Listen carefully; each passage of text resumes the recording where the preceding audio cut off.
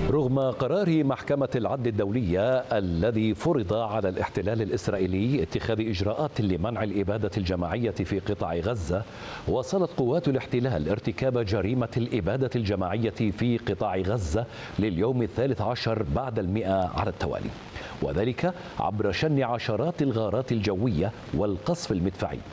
وأعلنت وزارة الصحة في غزة ارتكاب الاحتلال 18 مجزرة راح ضحيتها 174 شهيدا و310 مصابين خلال الأربع والعشرين ساعة الماضية. كما وصل عدد من الشهداء والجرحى إلى مستشفى شهداء الأقصى إثر قصف الاحتلال عدة منازل في دير البلح. حرب الإبادة الإسرائيلية على الفلسطينيين لا زالت متواصلة فقد ارتكب جيش الاحتلال في الساعات الأخيرة 19 مجزرة ضد المدنيين الأبرياء. راح ضحيتها 183 شهيدا و337 جريحا خلال الساعات القليلة الماضية لترتفع حصيلة العدوان الإسرائيلي إلى أكثر من 26 ألف شهيد وأكثر من 64 ألف جريح منذ السابع من أكتوبر أكتوبر الماضي كما تجدد القصف الإسرائيلي في محيط مستشفى ناصر بخان يونس والذي تحاصره قوات الاحتلال منذ أيام وتمنع إجلاء الطواقم الطبية والنازحين والمصابين بداخله. قنابل موقوتة نزلت على خانونس هذا الحدث اللي صار في خانونس والشهداء شمال يمين؟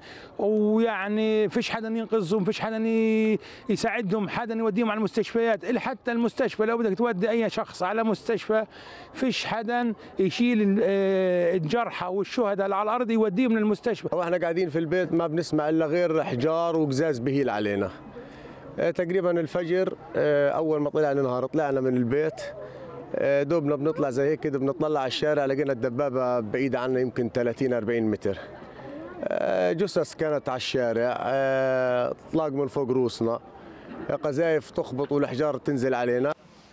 ووسط تفاقم الأوضاع الإنسانية أدت الأمطار الغزيرة التي تتساقط على خيام النازحين إلى غرق أعداد كبيرة منها كما وتدفقت مياه الأمطار إلى داخل الخيام فيما لم يجد عدد كبير من النازحين من خان يونس إلا الشوارع للمبيت فيها بعد أن وصلوا رفح تحت ضربات الاحتلال وقصفه. قعدنا فيش لا كهرب ولا مية وبنصف دار وبالآخر فيش وين وين لما تعبى مي بالآخر بنعبي شوي وبنيجي وبنقعد عليها لتاني يوم أو لثالث يوم. و وفي والخيمة كمان بتنز يعني ولادي غرقوا قبل يومين فيها. وجوزي متصاوب وسلفي متصاوب وسلفي الثالث متصاوب. وفش وعندنا حجة وعندنا مرة كبيرة مريضة سكر. من جانبه حذر الدفاع المدني من أن حياة آلاف النازحين مهددة بسبب البرد القارس والأمطار التي أغرقت خيامهم كما انتشرت الأمراض والأوبئة بين صفوف آلاف النازحين.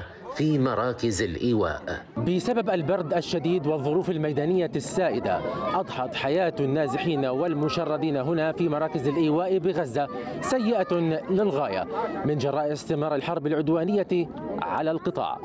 عبد الرحيم أبو كويك تلفزيون دولة الكويت من أمام مخيمات النزوح واللاجئين في رفح جنوب قطاع غزة فلسطين.